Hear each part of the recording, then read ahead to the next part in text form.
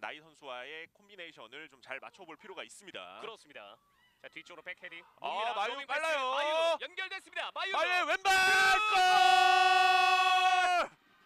플레이오프에서 선취골은 수원도시공사 마유 이케지리입니다. 네, 순식간에 득점을 만들어내는 마유인데 아, 이번에 수원이 한 번의 역습으로 뭐 이현영 선수의 헤더 이후에 또 문미라 선수의 킬 패스, 아, 마유의 스피드를 이용한 굉장히 세 명의 공격수가 만들어낸 굉장히 아름다운 득점이었습니다. 자 너무나 침착한 마무리였습니다. 그렇죠. 자 문미라 선수의 패스가 굉장히 예술이었어요. 네, 마유 선수 왼발을 잘 쓰는 선수기 때문에 굉장히 슈팅 각도가 넓었거든요. 네. 아, 이런 찬스 놓치지 않죠.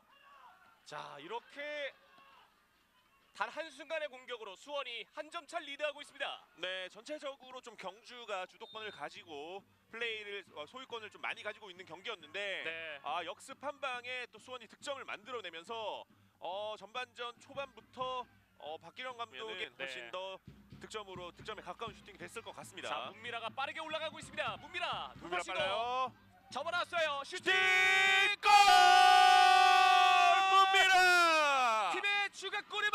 스코어 2대 0. 문미라. 네 이번에 굉장히 좋은 찬스를 만들어냈던 경주였는데 그 이- 이어지는 장면에서 수원이 굉장히 빠르게 득점을 만들어내면서 한 골 더 달아나고 있습니다. 문미라 선수의 개인 능력이 돋보였던 그런 득점 장면이었죠. 자 문미라 선수가 너무나 시원한 득점을 만들어냈습니다. 그렇죠. 아, 하프라인에서부터 드리블 돌파를 통해서 네. 아, 윤영글 골키퍼의 키를 살짝 넘기는 아, 굉장히 멋진 득점을 통해서 수원이 2대 0으로 앞서 나갑니다.